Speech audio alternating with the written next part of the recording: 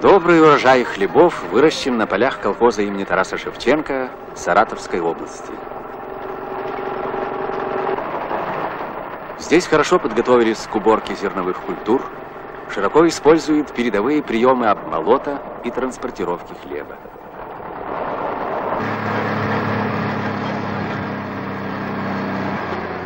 В колхозе имени Тараса Шевченко установлен первый в области новый зерноочистительный цех, оборудованный специальными агрегатами. Теперь хлеб из автомашины поступает непосредственно в приемный бункер.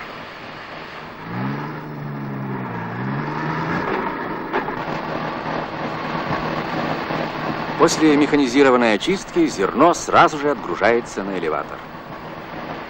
45 тысяч центнеров высококачественного зерна вместо 30 по плану дали обязательство продать государству хлеборобы колхоза имени Шевченко.